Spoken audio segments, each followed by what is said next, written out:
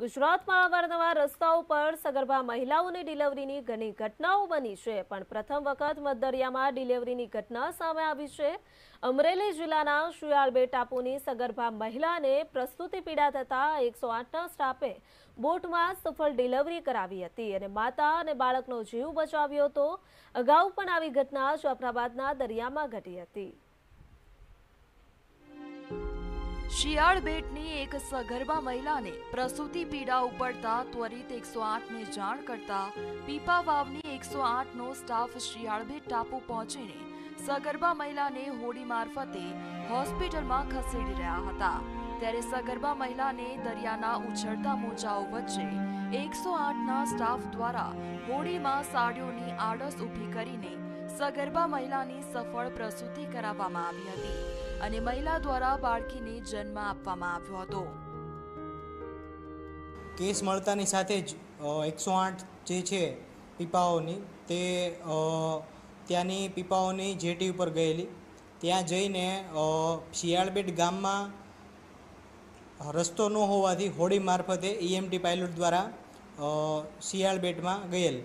ત્યાં જઈ અને પ્રસૂતાની તપાસ કરી હોડી મારફતે અ, પીપાઓની જેટી ઉપર લાવી રહ્યા હતા ત્યારે દરિયાની વચ્ચે વચ્ચે જ તે પ્રસૂતાને ડિલિવરીનો દુખાવો પડતા દરિયાની વચ્ચે વચ્ચે જ તે ઈએમટી અને ઈએમટી અને પાયલોટ દ્વારા સફળ પ્રસૂતિ કરાવવામાં આવેલ.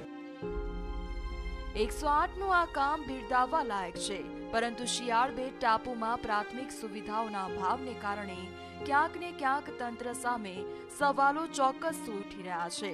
ત્યારે આ સમગ્ર મામલે ધારાસભ્ય અમરીશ ડેરના જણાવ્યા પ્રમાણે છેલ્લા ત્રણ ચાર વર્ષથી વિધાનસભાના સત્રમાં ધારાસભ્ય દ્વારા અનેકવાર માંગણીઓ કરવામાં આવી છે અને સરકાર હકારાત્મક પણ રહી છે.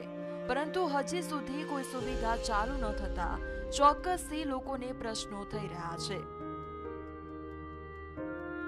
પણ સરકારને વિનંતી કરું છું કે છેલ્લા ચાર વર્ષથી વિધાનસભામાં ચૂંટાઈને આવ્યા પછી માછીમારો માટે, ફિશિંગ વ્યવસાય સાથે સંકળાયેલા લોકો માટે કે ત્યાં રહેતા લોકો માટે દરિયાઈ એકસો આઠ એમ્બ્યુલન્સ સરકાર જો ફાળવે, તો મને એવું લાગે છે કે આવા કિસ્સાઓની અંદર ઘણું બધું સારું થઈ શકે એમ છે. ત્રણ ચાર દિવસ પહેલાંની જો વાત કરીએ તો મધદરિયે બે ત્રણ લોકોએ રેસ્ક્યુ કરીને એક માણસને બચાવ્યો હતો. એ પણ અભિનંદનને પાત્ર છે, પણ હું એમ કહું છું કે જો દરિયાઈ સ્પીડ બોટ એકસો આઠ આ વિસ્તારમાં ફાળવવામાં આવે તો ચોક્કસપણે છેવાડાના નાનામાં નાના માણસને ફાયદો થાય એમ છે. રાજુલાના પીપાવાવ પોર્ટથી ત્રીસ મિનિટના દરિયાઈ રસ્તે આવેલ શિયાળબેટ ટાપુની મહિલાને મધદરિયે પ્રસૂતાની ડિલિવરી કરાવવાની ઘટના બાદ ફરી દરિયાઈ એકસો આઠ ચાલુ કરવાની માંગ પ્રબળ બની છે.